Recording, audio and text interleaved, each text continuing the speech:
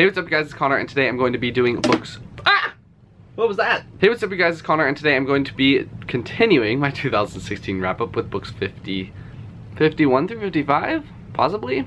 I don't know. I've given up. The next five books that I read in 2016. So the first book in this video is going to be The Dragon's Blades, The Reborn King by Michael R. Miller. This is an adult high fantasy book that was sent to me by the author in exchange for an honest review, and I have since posted my review, so if you'd like to check that out, I will link it in the card symbol and down below, and you can check that out because I really did enjoy this novel. I ended up giving it 4.25 stars. It's about a, a dragon named Darnuir, and dragons in this world have lost their dragon form so they pretty much look like humans. They're just stronger and faster than humans are. And he ends up having to go through this spell that turns him back into a baby and he's raised among humans. So he has to deal with all of those different things. And if you'd like to learn more about the book just go and check out my review so I don't talk your ear off about it right here. The next thing I read is going to be One Piece Volume 3, which is called Don't Get Fooled Again. This series is about a boy named Monkey D. Luffy and he has eaten the gum gum fruit, which basically means that he has elastic skin and can stretch his arms out really far. He has an elastic body. But the catch is that he cannot swim and so that causes a little bit of problems for him because he wants to become a pirate. And so in this volume you follow him trying to recruit a few more members to his pirate crew and I really did enjoy it. I ended up giving it four stars out of five stars because I didn't really like the people that he was trying to recruit. I thought they were kind of annoying, but I did enjoy the story and I think that it is going to continue to be awesome as it goes through all jillion volumes of it. If you're curious about the artwork, this is kind of what the the normal artwork looks like. There's some pages that have better shading and like more gray tones in the background, but mostly they look like that. And so I've really been enjoying them. I'll definitely be continuing along with the series whenever I end up picking up more volumes. I'm kind of coming over my manga hype phase, so I'm gonna be buying less manga in the future, but I'll definitely be continuing the series whenever I find the next volumes for cheap. The next book that I read is going to be Chasing Forgiveness by Neal Shusterman. This is a young adult. I guess technically it'd be contemporary, but I don't really read contemporary. I classify this as fiction, but it's young adult, so it's it's contemporary, but I don't like to say that. I'm just gonna read the blurb of the story because the book's not very long, so I don't wanna say too much without spoiling it. And I usually never do that because I feel like the blurbs are really long, but it does a very good job of portraying what's actually inside the book. I love my father, I do. I love him so much it kills me, but I hate him more than anything in the world. How can anyone feel both at the same time and still be in one piece? Preston Scott was only 12 years old when his father killed his mother. He never saw it coming. Despite his parents' constant fighting, Preston always thought they were perfect together. Who could ever predict something like this? Fast forward. Preston is now 14. His father has just been released from jail and is moving near his grandparents' house where Preston and his younger brother Tyler have been living.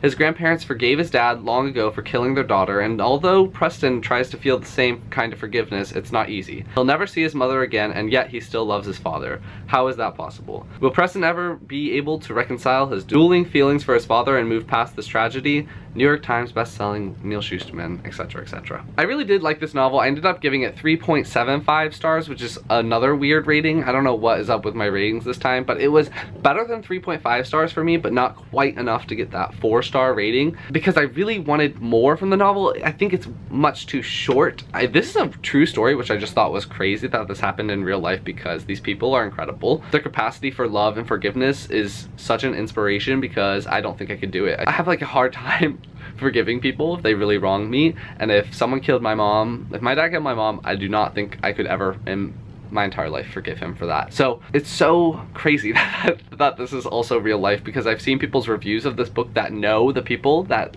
the book is about and so it's just it just blows my mind. I did want to have a little bit more of the story. I feel like some things are kind of brushed over. They're kind of mentioned and then they keep moving and I wanted more out of it. I think it could have impacted me a lot more if they spent more time on each of the issues that Preston is going through throughout the novel, I think that that could have been fleshed out a little bit more. And so I ended up giving it 3.75 stars. But I think I'm going to be rereading it in the future. I don't know. I feel like these type of novels that I've been reading recently, Inside the O'Briens, Chasing Forgiveness, Challenger Deep, those kinds of novels are, are, have just such a high rereadability. I think it's awesome. And so I'm definitely going to be rereading this in the future. And, and maybe I'll end up giving it a higher rating when I reread it. But for now, it's going to be 3.75 stars. I recommend this book though still. The next book I read is Calamity by Brandon Sanderson. This is the third book in the Reckoners trilogy. So it wrapped up everything in the story, although there is going to be a spin-off series that is based off of this series. It's called, I forgot what it's called, but there is a spin-off series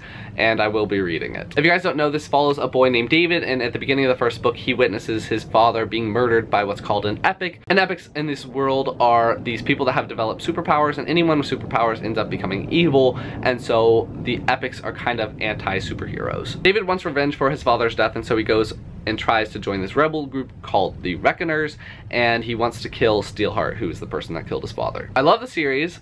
I gave the first one four and a half stars maybe, gave the second one four stars, and I ended up giving this one three stars. I was a bit disappointed with it. I thought that the beginning was so repetitive. The characters just say the same things over and over and over again, and I thought that we could have moved along a lot faster than it did, and I also think that the ending of the whole series was not satisfying. I was just kind of like, what?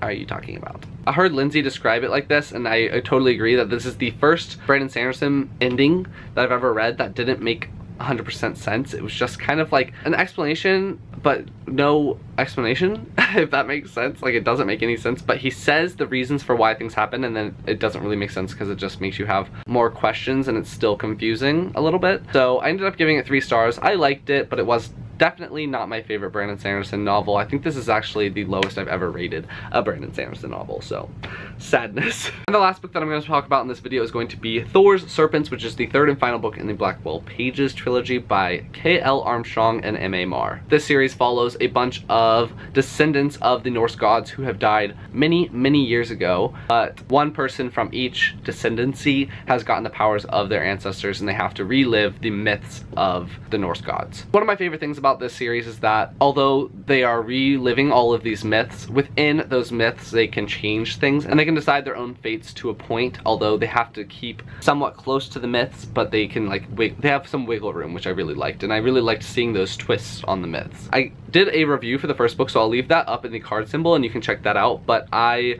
really liked it. I ended up giving it 4.5 stars, and I gave the second one 4 stars, and I gave this one three stars. I feel like there's a trend there. I think why I ended up giving this book three stars was the things that I didn't really appreciate in the first couple of books. The problems that I had were just kind of compounded into this book. They just kept going and so they started annoying me a little bit more and a little bit more and a little bit more. I think one of the main things was that all the characters reset. It's very episodic. So each character resets and they have to deal with the same flaws that they have over and over and over again. And this is one of the main characters. His name is Matt. He is the descendant of Thor and he is very self self-conscious and he feels like the black sheep in his family and he has to deal with that all over again in each book and he has to overcome it in each book. And so I just didn't like that. I thought that these characters didn't really grow and stay grown. It was like they took one step forward and then one and a half steps back or even two steps back. It was like they were fighting a losing battle and it was kind of frustrating in that respect. In the first book, I know one of my complaints was that it felt like two different writers writing. In the second book, I thought it improved a lot, but then in this third book, it ended up being two different writers again, so I wasn't really sure why that was happening. But I do like the series, and I do like this novel, but I